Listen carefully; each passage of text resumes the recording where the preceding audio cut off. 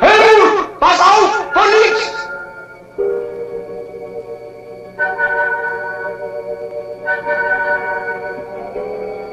Come on, you bunch of ridge runners. Get the lead out.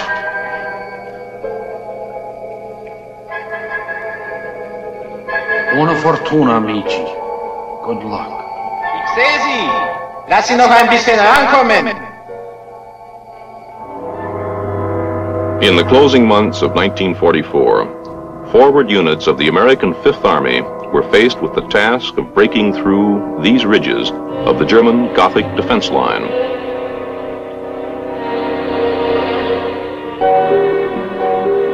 On November 26th of that year, a deathly silence settled over this sector of the Italian front, for it was on that day that our third attempt to break the line failed. The story, born out of that stalemate, is the subject of this film, told from the personal viewpoint of those who were there. My name is Bill Putnam. I was a lieutenant with the 85th. Ich heiße Georg My name is George Weibel. und habe das I was a sergeant assigned to a transport unit. I witnessed the end of the war in Italy. My name is Ben Bush. I was a sergeant with the 86th. Ich bin Hans-Georg Hildebrand. I am Hans George Hildebrand. I was a German general in northern Italy. My name is George P. Hays. I was the commanding general of the 10th Mountain Division. This is the story of the climb to glory. A combined German, American, and Italian account of the combat record of one of America's most unusual fighting outfits. The 10th Mountain Division.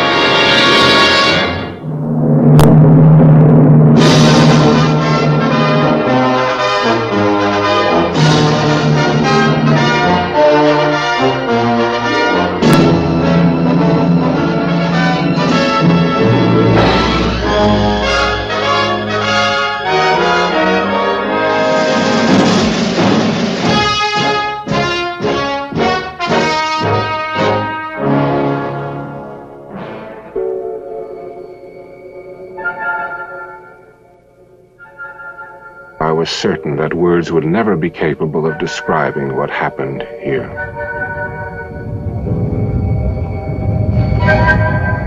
But time has a way of helping a man put a lot of jagged memories back together again. We were not the first division to come to Italy, nor did we, as one reporter put it, win the war single-handed.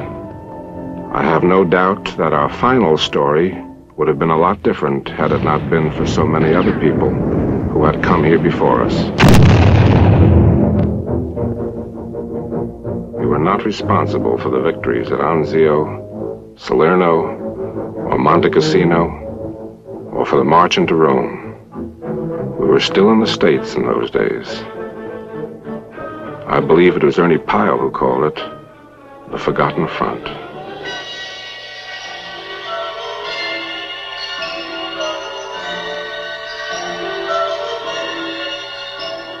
We became a part of this tragic scenery on December 23rd, 48 hours before Christmas, 1944. We checked into Livorno exactly one month and one day after the Germans beat back our third attempt to scale their Gothic line. We were given lots of straw to bed down so that we could have insulation from the cold. And it seemed like a wonderful place because the sun was warm. We were well dressed. We were being fed very well. We had lots of time to ourselves. And the idea of the front lines or warfare seemed very far away. We were a peculiar assortment. Our rank and file was made up of Austrian and German Schussboomers, Olympic ski champions, European and American mountain climbers, and what today's generation would probably refer to as Ivy League double domes. Harvard, Dartmouth, and Yale were well represented. An intelligence officer reported that the Germans were not impressed. On the 8th of January, this first contingent moved north through Florence to face the deadlock at the front. Ten days later, the rest of the division pulled into Livorno. We had come up from Naples uh, on landing craft and were camped in a uh, park. Uh, there were the whole division was there, uh, except for parts of the 86th that were ahead of us and had been in the line. It was raining. Things were rather miserable and soggy, but uh, we were cleaning our equipment, uh, relaxing a bit, getting rested up from the long trip in the ocean. It was wet, muddy, and uh, the foxholes that they had dug were full of water and very unpleasant. So they were quite anxious, I think, to get on with the show and get something moving. On February 4th, we were ordered, my platoon plus one rifle platoon from the three rifle companies of our battalion into a make-up company that was supposed to do something. We weren't really sure what we were supposed to do. Uh, but uh, we had orders to go up the valley to our left and ascend the ridge that overlooked the town of uh, Pianosinatico. We did this.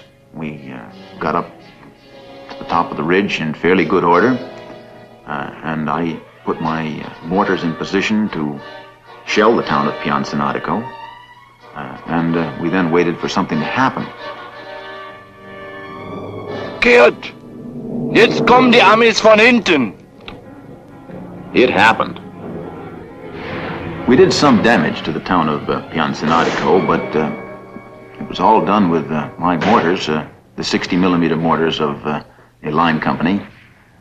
I remember rather enjoying the performance because uh, we were actually doing something. Uh, we felt uh, constructive. I'm sure the Germans had a different attitude, but we could see some Germans uh, in the town, and I did my own observing, calling the uh, the shots uh, to create maximum damage. You you can't really do a great deal of damage against buildings with with 60 millimeter mortars, but I tried. I remember seeing, praying, just hoping I could uh, drop one round down the chimney of the building that uh, I was sure was their uh, their headquarters. And we knocked an awful lot of tiles off the roof first.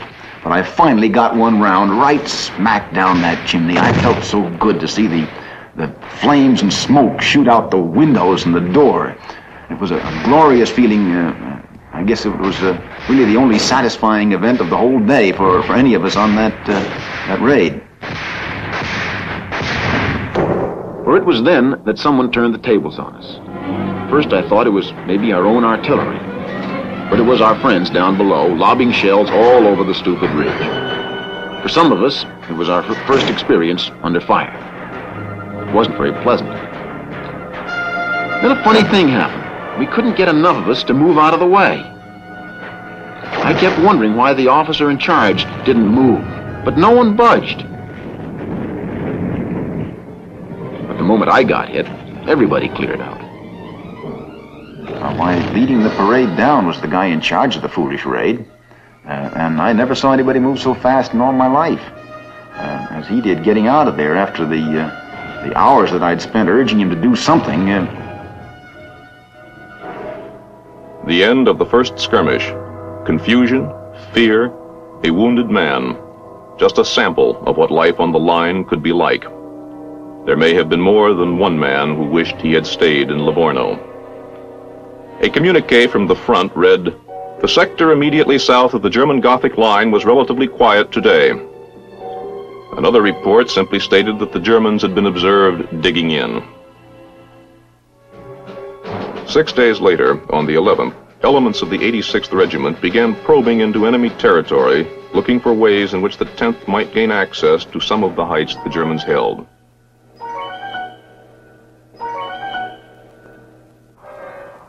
No one made much noise about those patrols. There was no mention of them in the press. We lost men on some of these patrols. And you know, a guy that's killed on patrol is just as dead as a guy that's killed in the big push.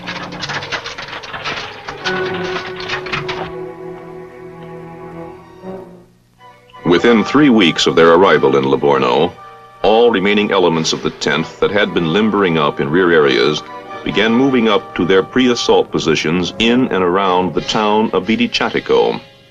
They passed men who had already been at the front. We naturally spoke to them, eager to find out what battle was like, what combat was like, what bullets were like.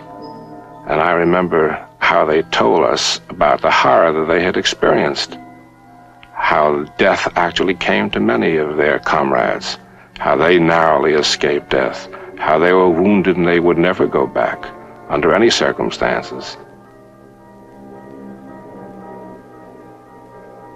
Here was the situation at the front as General Hays saw it from his command post. On my left is Riva Ridge, and on my right is Mount Belvedere. And on the right of Mount Belvedere is Mount Gorgolesco. Between Belvedere and Riva Ridge, that small humpback ridge was also held by the Germans. As you can see, the Germans had observation on all of our front.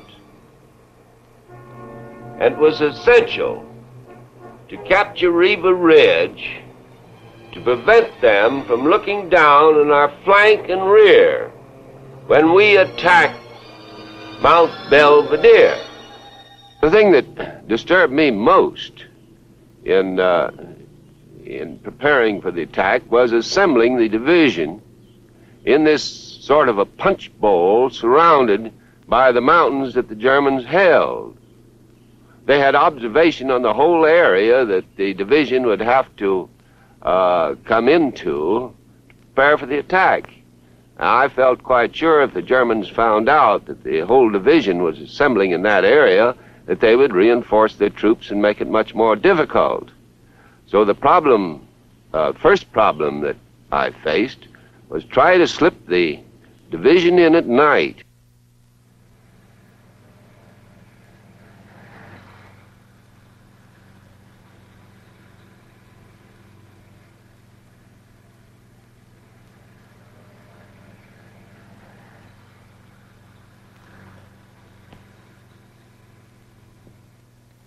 Die amerikanische Linie läuft The American line runs from here down to this valley in northeast of Rocca Cornetta.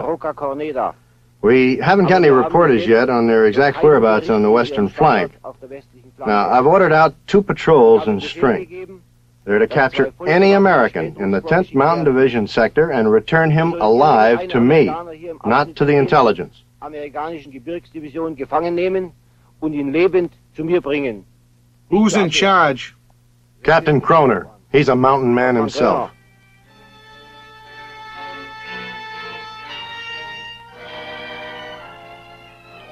That night, an American patrol also went out.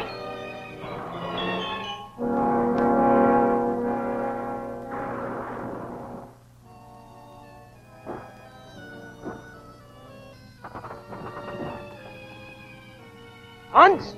Hans! Hier rüber! Halt die Klappe da hinten und mach das Licht aus! In the dark, they met. That night, no prisoners were taken. The entire division, more than 13,000 men, continued to move into and around the town of Vidiciatico.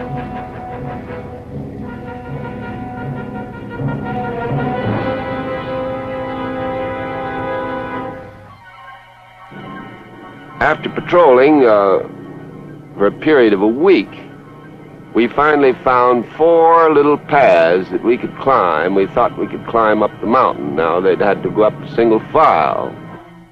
One uh, German at top of the mountain could throw hand grenades down and stop the whole show if we didn't gain surprise.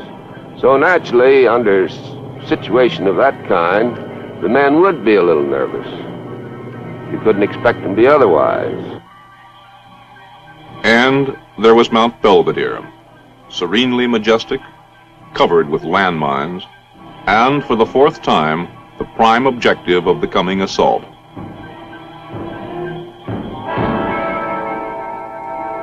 The first impression of Mount Belvedere from in front of Vidiciatico was that it was so far, far away and awfully high up. It seemed impossible that we'd ever be able to make that distance and ever be able to capture that mountain.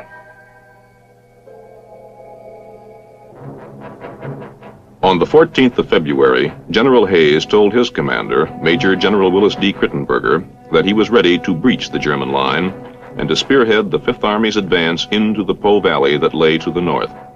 He was given the green light. On the 15th of February, General Hays dictated this order.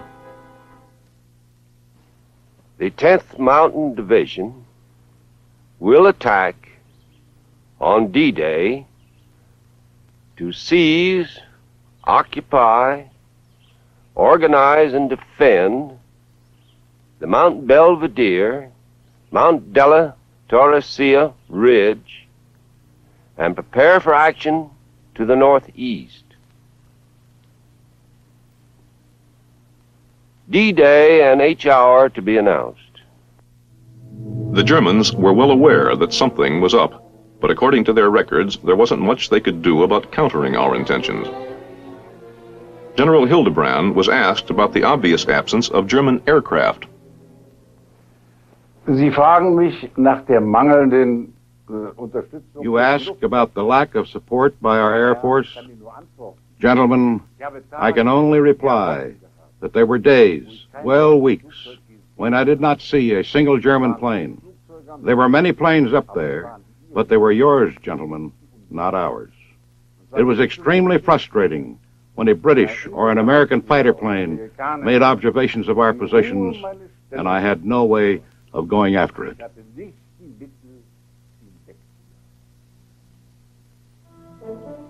Some 10th Mountain Division veterans may remember this house. Farmer Giuseppe Lenzi has lived in it all his life. During the tense wait for D-Day that followed the General's combat order, a handful of men of the 86th Mountain Infantry holed up inside Lenzi's house. Giuseppe remembers their arrival and the day they left. In febbraio del 1945. In February of 1945, the Americans arrived at the village of Vidiciatico, most of them from the 10th Division.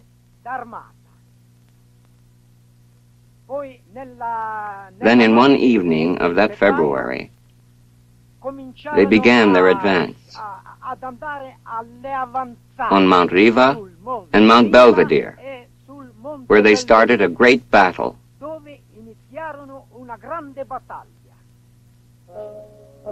As Giuseppe and other farmers watched the troops move out, another man helped guide one of our first probes up the sheer cliffs of Riva Ridge. His name, Gino Lanzi. La sera del 19 febbraio 1945. On the evening of February 19, 1945, the 10th American Division began the seizure, the occupation of Mount Cappel Buso.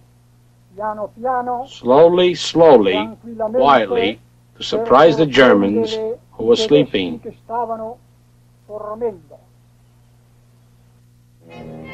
There were only four places in that ridge that our troops could climb, and then only single file.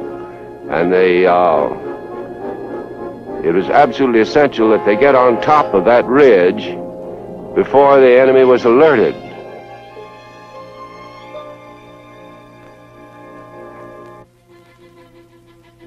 It was at this point that the division's special talents first came into play. Expert rock climbers of the 1st Battalion of the 86th began climbing the ridge's jagged rocks to a height of 1,500 feet and, without making a sound, fixed ropes for the use of units that were moving up from below. We uh, flashed some searchlights on the cloud formation up above, and that reflected back just a little bit of light on the hill mountainside, which enabled them to see a little bit uh, of the uh, rock structure that they had to climb. All ropes were secured by midnight. The entire valley below was still.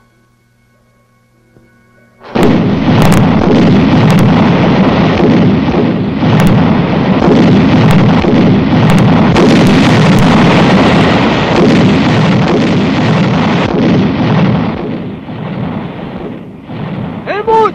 Pass auf von links!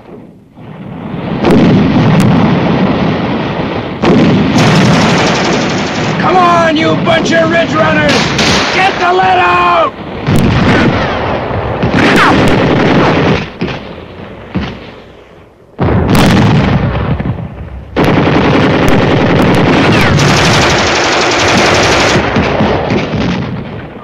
After two hours of combat, there was still no word from the men on top of the ridge. It was reported, however, that the first of several wounded were on their way down. To General Hays, there were two questions. Would mountain climbers prove to be the answer to the Gothic line? And would their special talents plus the strategy of surprise help keep initial casualties down? After midnight, the first indications of success trickled down to the valley below. Company B of the 86th had dislodged all German troops from the top of Rivas Mount Capel Cappel Buso. At dawn, a single platoon of Company A reported that it had occupied the northern end of the ridge, Pizzo di Campopiano.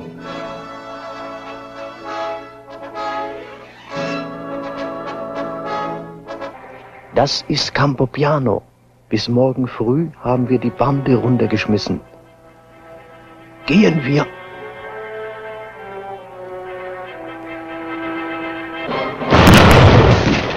German counterattacks came as expected.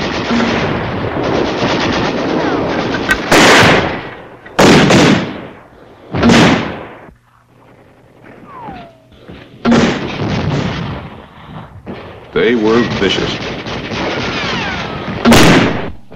But were doomed to failure when a young lieutenant in charge of the lonely platoon checked the German thrust by calling for dangerously close artillery support.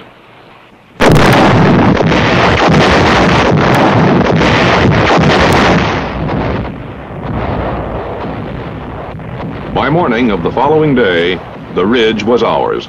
The 10th Mountain Division, still considered green, had chopped the key threat out of the Gothic line. Belvedere was next. In the early morning hours, while initial mopping up operations got underway on Riva Ridge, the 10th let loose with a terrible hail of steel against Gorgolesco and Belvedere. It did not inspire peace of mind in the men who waited below, for the Germans had, after all, overcome that kind of shellacking on three previous occasions.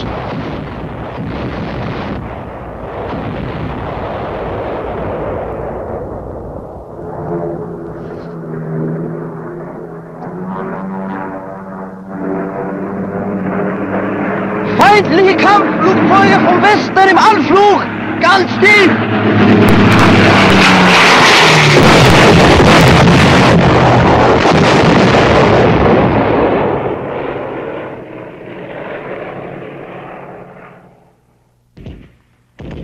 When it seemed as though the hill had died, the 85th and 87th regiments pushed off for the minefields above them.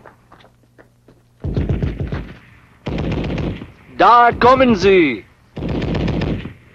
Lass sie kommen!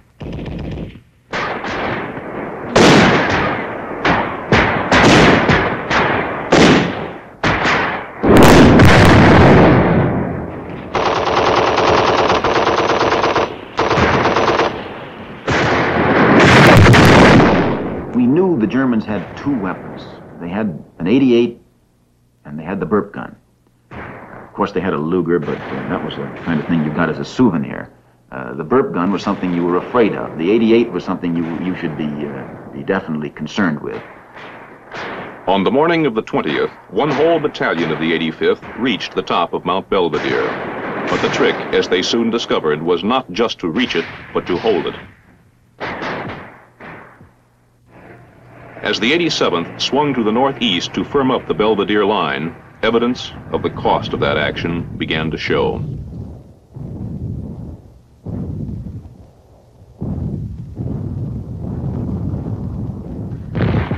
The Germans rushed the 741st Jaeger Regiment into the line. And the 10th climbed up to meet them.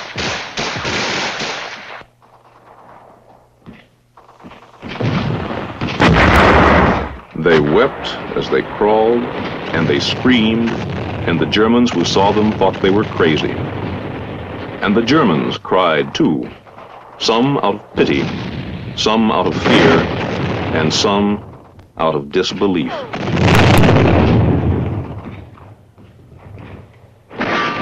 By the 22nd, it became obvious to both American and German commanders that the 10th was no ordinary combat outfit, for by that day it had become clear that it would succeed in holding the objectives assigned to it. News of this relentlessly aggressive outfit spread deep into the German lines. Prisoners revealed that their commanders had called it the Elite Mountain Division. German Sergeant Georg Weibel was in that combat zone. Ich erinnere mich noch genau, als ich südlich von Bologna I remember distinctly when I took over a transport unit south of Bologna. I learned that the American Mountain Division pressed upon us. It came as a shock to all of us because we knew very well that this would spell our weil wir doch collapse. genau wussten, dass unser Ende besiegelt war. On February 24th, Riva was secure.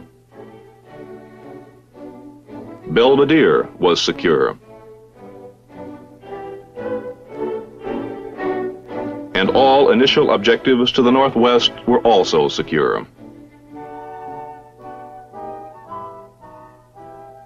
Peace returned to Vidiciatico. Just an occasional shot could be heard. In a letter of commendation to the division, General Mark W. Clark, commander of the 15th Army Group, said, My congratulations to the officers and men of the 10th Mountain Division. You men have done a damn fine job. General Hildebrand says, Ich achte diese Truppe. Ich habe gegen sie I respect this unit, Sie hat sich for I fought against it. Your men fought back very well, and you did not make it easy for us. But I believe our men did not make it easy for the 10th Mountain Division either. A soldier's fate, a soldier's duty. Next week, part two of The Climb to Glory.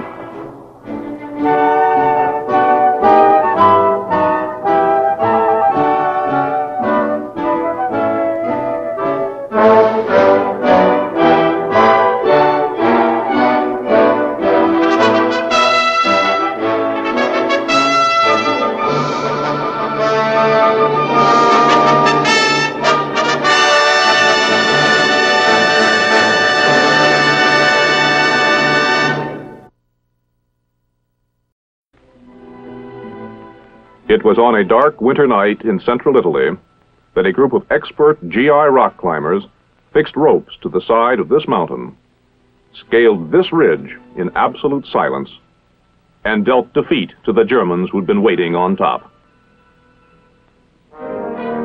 The 10th Mountain Division, fresh from the States and new to combat, had done what others before had for months been unable to do. German field commanders, startled by the speed with which the outfit climbed and moved, called it America's elite mountain division. American commanders noted the compliment and then chose the 10th to spearhead the final push through the German lines. The story of that last assault in Italy is the subject of this film. It will be told by Italian citizens Angelo Maldini, Maria Morotti, and through the personal views and recollections of those who served at the front. My name is Bill Putnam. I was a lieutenant with the 85th. My name Mein is Name ist Franz Huber. I was a German soldier with a heavy artillery unit in Italy. My name is Ben Bush. I was a sergeant with the 86th. My name is Horst Kugelmeier. My name is Horst Kugelmeier. During the Second World War, I was a corporal with the Mountain Division in Italy. In Italien im Einsatz. My name is William J. Moran. I was the division chaplain. Hans-Georg Hildebrand. I am Hans Georg Hildebrand. I was a German general in northern Italy at the end of the war. My name is George P. Hays. I was the commanding general of the 10th Mountain Division. This is part two of The Climb to Glory, a combined German, American, and Italian account of the combat record of one of America's most unusual fighting outfits, the Army's 10th Mountain Division.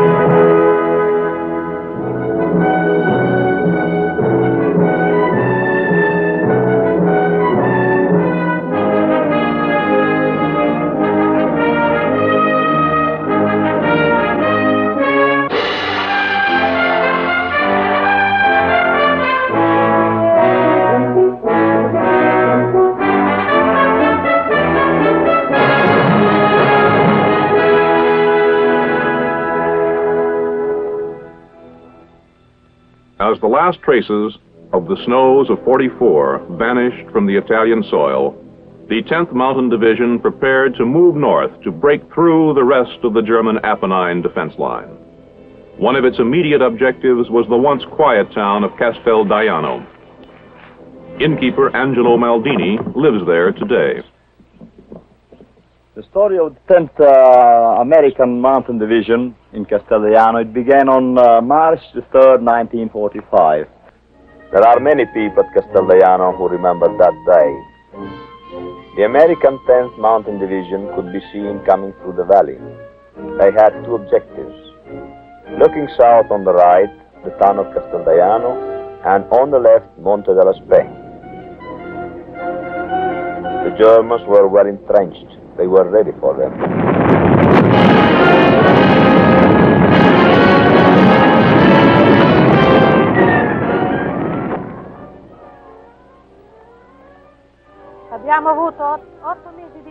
We had eight months of front lines.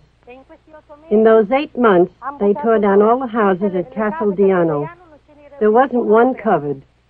There were also some dead. And then the Germans took from the houses all they could take. But when the Americans arrived, they gave us things to eat. And, well, we lived a little better. Castel d'Aiano once again was secure and was given back to its own people. Three days after the battle started, Monte della Spe was also secure. Some never knew the name of the place. They were left behind in the stillness that enveloped that mountain town. It was a bloody battle. The people here were glad when it was over. But the sadness that all wars bring can still be felt in these hills.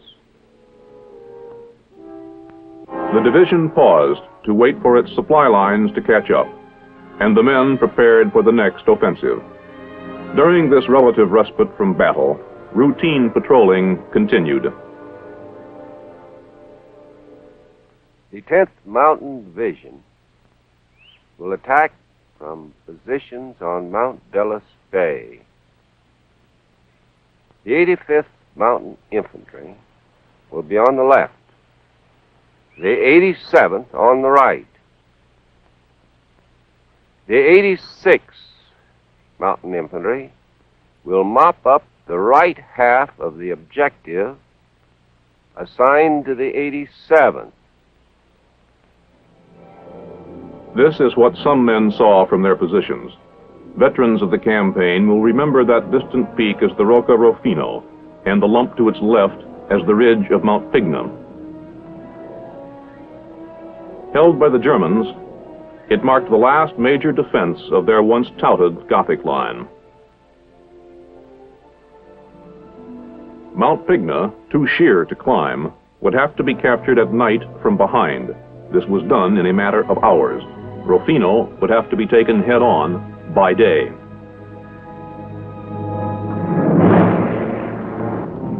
Rocca Roffeno's attack began very early in the morning at dawn.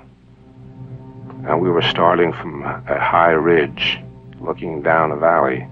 We weren't to start until after all the preparations had been readied so that we had a beautiful view in a beautiful day, bathed in sunlight of the valley, the mountain, and everything around it. This was in the spring, and we were waiting for the beginning of the air attack.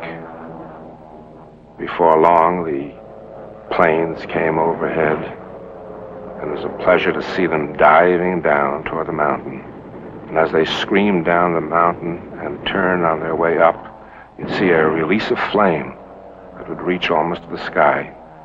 A napalm bomb released. The fire lasts a long time because of the jelly that spreads along the mountains. And the rate of burning seemed to be terrific. Everything seemed to be in flame. And as plane after plane peeled down let go its bomb, and more and more flame reached up in the sky, it seemed as if nothing, nothing that was alive, could ever survive that fire. And when everything had been finished and everything had been done, and there seemed nothing more for us to do than just walk over. Just walk over leisurely and take the ground, and it was ours. Then everything came right back at us. Everything and more.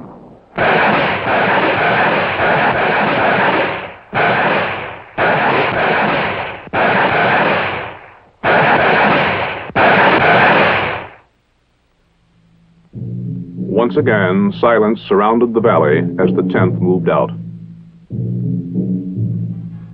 And the Germans watched them come. And they wondered how this elite division would ever cross this open terrain and climb to this incredible height. 20 Meter zu kurz. 20 Meter zu kurz, Herr Hauptmann. Zu weit. 10 Meter zurück und feuern.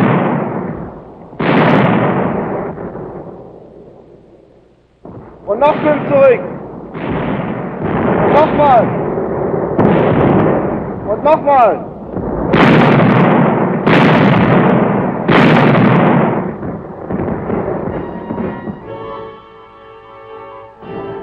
Few people will remember the name of this mountain hamlet below the Rocca Roffeno.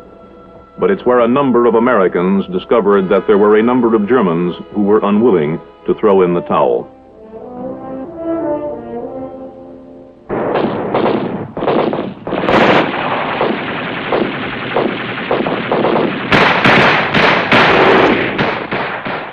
Resistance ended when General Hays sent a fresh battalion in from behind and surrounded the town. The 10th now fixed eyes on the ridges above and moved in to tackle the Rocca Roffeno.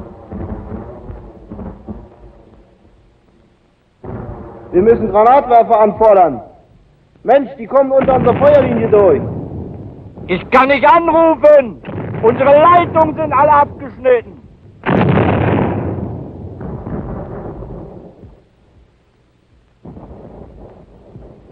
A German corporal remembers what happened next.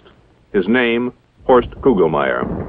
Unten im Tal sperrte uns ein heftiges Artilleriefeuer den Rückzug ab. Down in the valley, oh. there was heavy artillery fire, which made it impossible for us to retreat. And in front of us, there were the Americans. We gave in to what was inevitable, threw our weapons away, walked toward the Americans, raised our hands, and did exactly as the pamphlets had told us to do. To surrender. We expected hostile reactions, but, well, one becomes a prisoner of war only once in life.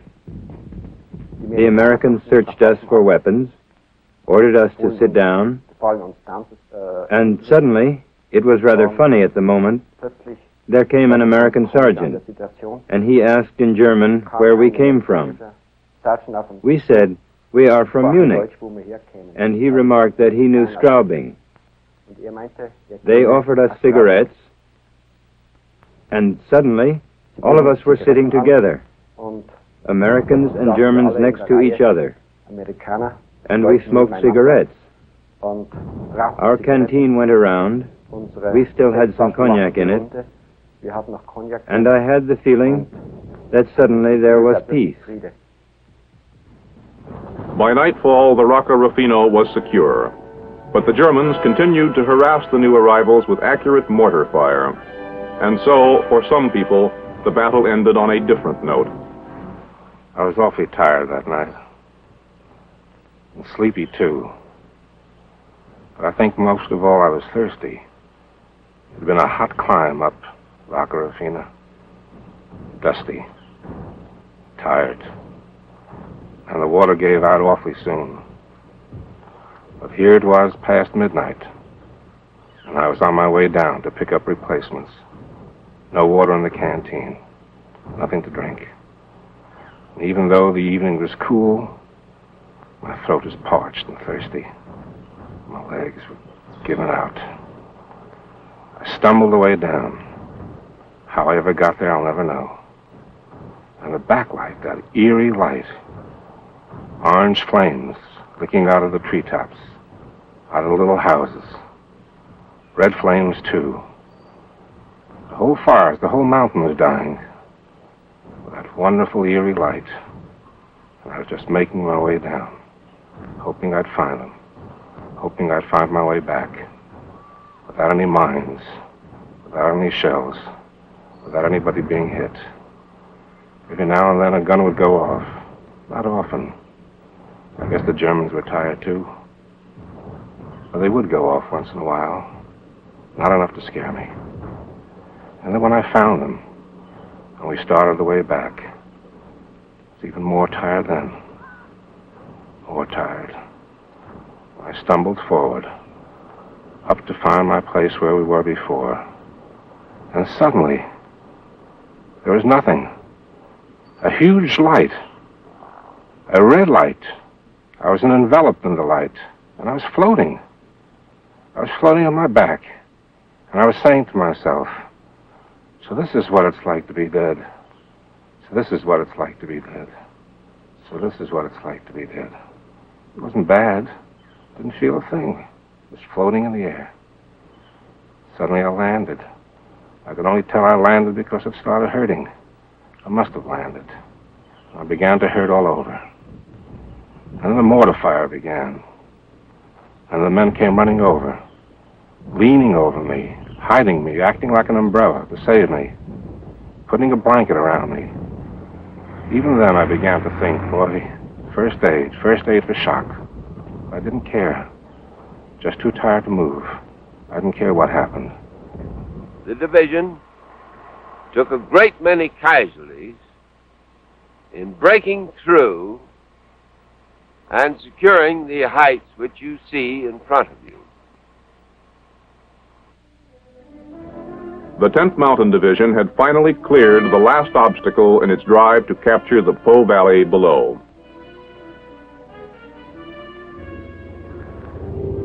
The Germans tossed off the Apennines for good began rolling north in the hope of slowing the Allied advance at two river crossings. The first at Bomporto, the other farther north at the town of San Benedetto. It was no secret that the Germans would try to destroy all the bridges. The 10th would attempt to prevent this from happening. Brigadier General Robinson Duff, second in command, was assigned to this mission. I gave Robbie Duff uh, a battalion of infantry, mounted in trucks, some uh, uh, light tanks, and reconnaissance units, and told him to bypass any resistance he ran into and move as rapidly as he could down to the Bomporto bridges and capture them intact. I told him, never mind the Germans that he ran into, to go around them, that the rest of the division would come along behind and mop them up. Miraculously, the Germans were outrun. The bridge at Bomporto was captured intact.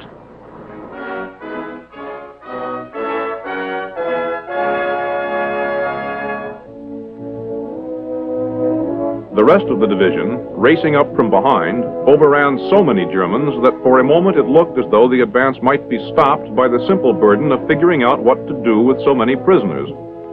General Hays solved the problem by stationing MPs 10 miles apart. The MPs then waved these war-weary men into hastily erected enclosures. Chaplain Moran, in convoy up at the front, remembers taking part in these proceedings. Just before the we moved from the Apennine Mountains into the Po Valley, I had an unusual and rather rare experience. That is, rare and, a, and unusual for a chaplain.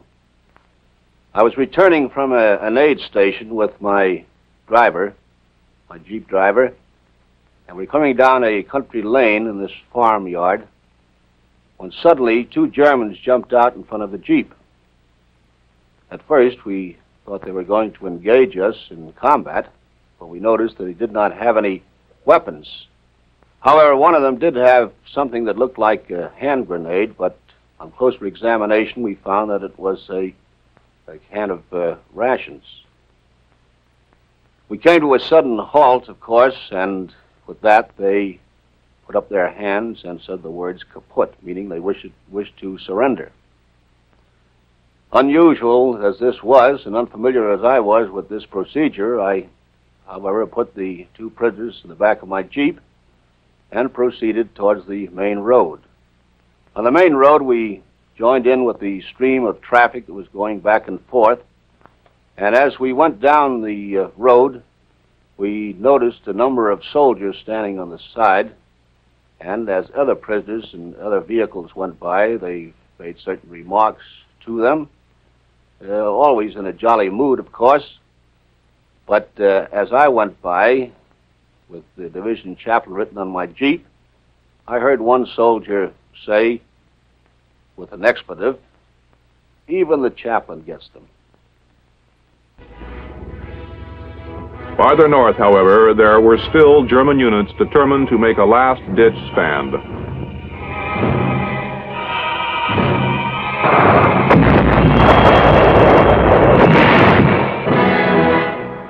Hays remembers that it was in this action that he lost his second in command. It was then about 9 o'clock at night. After we got straightened out and started again toward the Po, uh, Robbie Duff saw a mine lying in the middle of the road, and he ran over to the tank that was uh, advancing on this mine and rapped on the door, trying to tell them to stop and not run over the, the mine. Unfortunately, they ran over the mine just as he got to it, and that wounded him.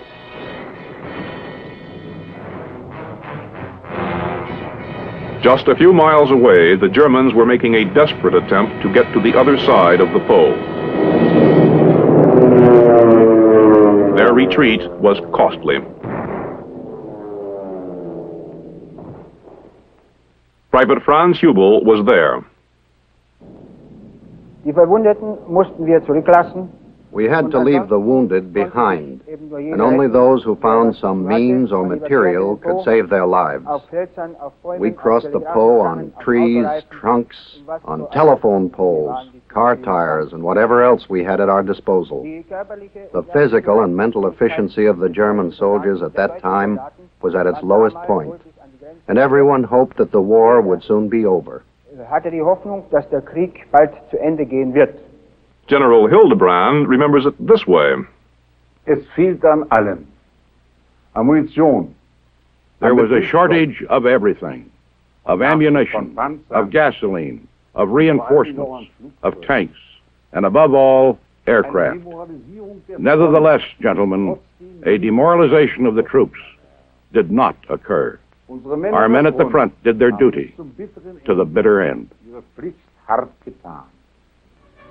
That night, the 10th arrived at the Po. Well, the next morning, I went down and looked at the Po, across the Po with my field glasses, and I could see that the dike on the other side was all prepared for defense. They had uh, uh, foxholes were vetted in the, and uh, as far as I could see, there were no infantry over there. And I thought, well, we'd better get across before the German infantry come and man uh, those defenses.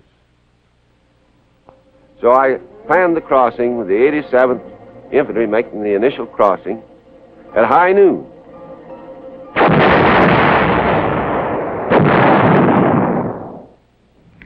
It was warm and sunny, I believe, although we didn't much care about the scenery or the type of day. Uh,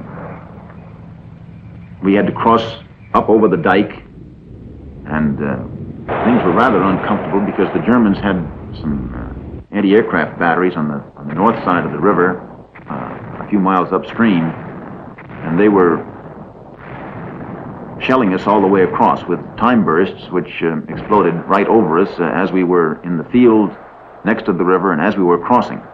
Once we got across the river, we could, uh, we could spread out and uh, escape from this uh, murderous uh, type of artillery. So we did. At the same time, Bill Putnam remembers taking note of a sad realization. It was the day we crossed the Po River. Ahead of me in the crossing had been Company L of the 87th. I spent the happiest, perhaps, days of, of my Army life uh, in that company as a private, and I knew all the people in that company. When we crossed the Po, they were, they'd stopped ahead of us, and my company uh, crossed through theirs. I only recognized two people. Beyond the Po, the 10th Mountain Division got fresh supplies, captured the town of Verona, and a few hours later lost its assistant division commander, Colonel William O. Darby, to a German shell. He received the rank of brigadier general after his death. The 10th rolled north to Lake Garda and took to the water to capture the tunnels on both sides of the lake.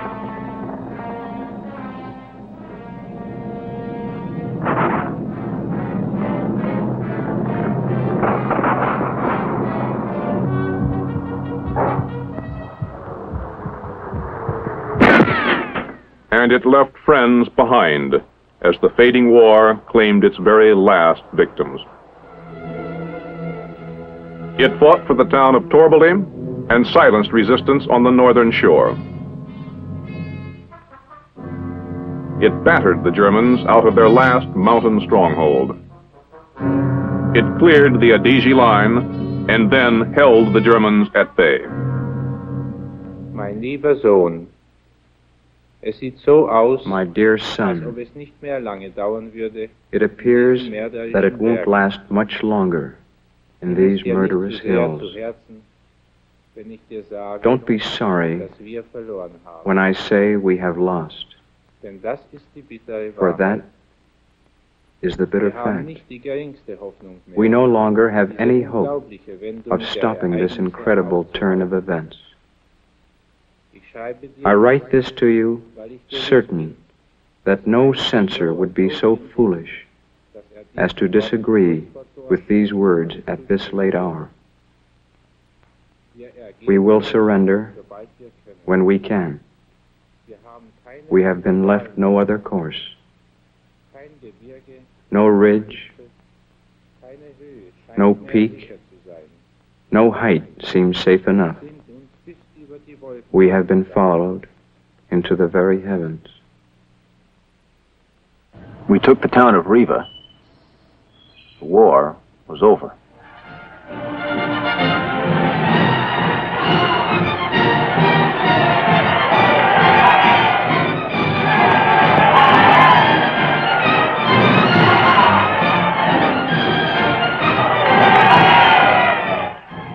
At the war's end, General George P. Hays stood on the bank of Lake Garda, faced his troops, and said, When you soldiers go home, no one will believe you when you start telling of the spectacular things you have done, there have been more heroic deeds and experiences crammed into these days than I have heard of. I have been privileged to participate many actions that were considered important and fierce battles. And I can assure you that one of the most bitter were the ones that we fought right here. Many times we stuck our neck out with exposed flanks. At one time we were 20 miles in advance with both our flanks exposed. The Lord held us by the hand. And then bells pealed in a thousand towns, and for a moment time stood still as the world readjusted. And then it was no more than a memory, a memory of gunfire and mountains, and of those who had died between Belvedere and Lago di Garda. Their memory will ever be with us. Those who for a year or more, for a few months perhaps, were our friends, our comrades. And we feel that we have thy divine approval when we say that we are proud to be with them, members of the same unit, the same army, the same commonwealth. And as we stand this day in the final moments of remembrance, under the same sun and same sky under which our comrades worked and prayed and fought and played so well, we pray to thee, our sovereign God, that under the same sun and sky they may find repose, rest everlasting, and life eternal, a soldier's Valhalla, their reward. May they rest in peace.